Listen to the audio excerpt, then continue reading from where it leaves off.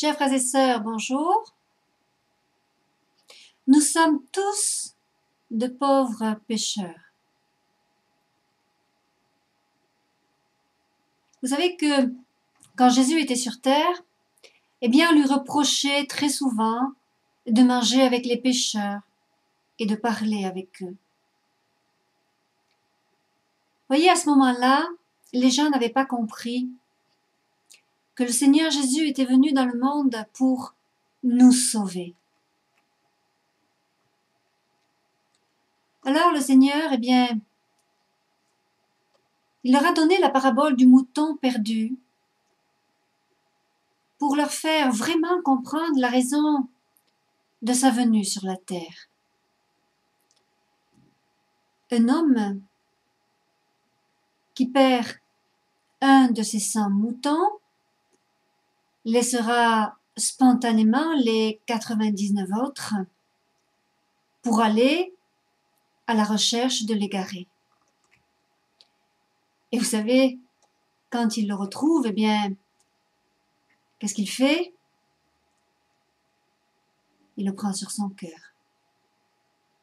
Voilà Dieu. Eh bien, le cœur de Jésus, quand il retrouve son enfant, l'enfant prodigue, son cœur déborde de joie. C'est son enfant. Eh bien, vous savez, tout pécheur que nous sommes tous, tout pécheur, oui, et ce mouton perdu. Jésus se met sans cesse à sa recherche et il ne s'arrête jamais tant qu'il ne l'aura pas ramené à la maison. Jésus est amour. À vrai dire, frères et sœurs, nous tous, êtres humains sur la terre, nous sommes tous un pécheur à part entière. Et on a tous besoin de nous repentir de toutes nos fautes. Vous savez, à l'époque, les pharisiens et les scribes, eh bien, ils pensaient vraiment être irréprochables et pouvoir se passer d'un sauveur. Alors, le Seigneur Jésus a tenté de leur montrer que, en fait, leur orgueil faisait d'eux les pires pécheurs.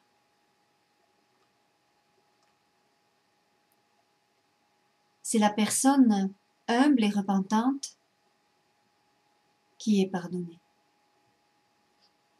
Et cette personne, voyez, eh bien, elle procure vraiment une grande joie au cœur de Jésus quoi qu'elle ait fait.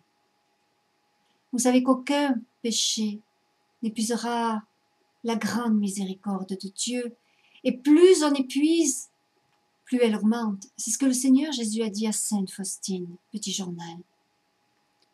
Que fait Jésus quand il a retrouvé sa brebis, son mouton? Eh bien, Jésus, il la porte, il la porte dans ses bras. Et un jour, eh bien, elle sera avec lui au paradis. Les autres, voyez, ceux qui se croient meilleurs que leurs voisins, eh bien, ils seront surpris un jour de découvrir qu'ils sont les pires pécheurs et qu'ils ont vraiment besoin de se repentir s'ils veulent entrer au ciel. Alors, frères et sœurs, je vous exhorte toutes et tous à vraiment prier pour tous les pécheurs de la terre, pour moi la première, afin qu'on arrive vraiment tous et toutes, à déplorer toutes nos fautes. Vous voyez, un jour, j'étais dans une église et j'avais un gros péché mortel sur la conscience, et du tabernacle, le Seigneur Jésus me dit, reconnais ta faute. J'avais de la chance à ce moment-là. Il y avait un prêtre qui passait dans l'église. J'ai couru vers lui, il a accepté de me confesser. Et quand je suis revenue devant le tabernacle, que m'a dit Jésus? Jésus m'a dit, ton péché est effacé. La bonté de Jésus. Reprendre son enfant dans son cœur. Loué soit Jésus. Merci pour tant de bonté, Seigneur. Amen.